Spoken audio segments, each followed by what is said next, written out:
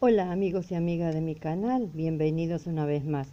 No se olviden de suscribirse, no se olviden de tocar la campanita si quieren recibir nuevos videos y poner un like, me gusta. Bueno, acá le estoy presentando una planta de moneda que es originaria eh, de África. Esta no, esta es nacional. Aclaro por las dudas. Eh, necesita un sol bien indirecto, no el sol directo porque sus hojas se ponen marrones.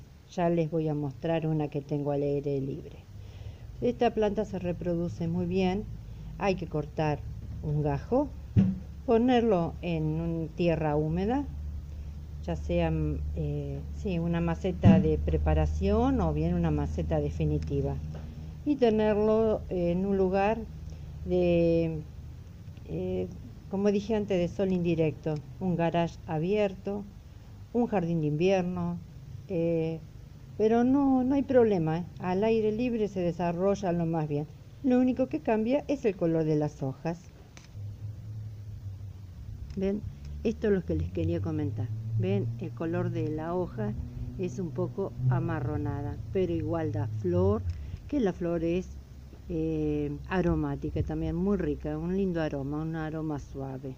Acá la tengo acompañada de las reinas, las fresias.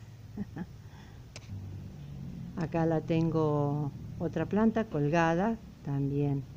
Eh, lo que tiene que las atacan también a veces eh, los caracoles.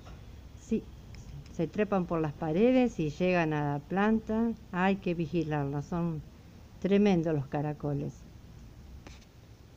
acá tengo otra planta lista para ponerla en esta maceta grandota.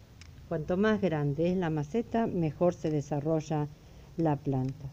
Bueno esto es lo que esto es lo que les quería mostrar las plantas de dólar o también llamadas de buena fortuna.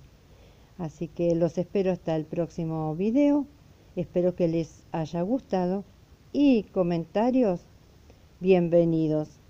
Así que yo leo todos los comentarios y trato de responder dentro de toda mi experiencia para que a ustedes les sirva. Gracias amigos y amigas y hasta el próximo video. Chao.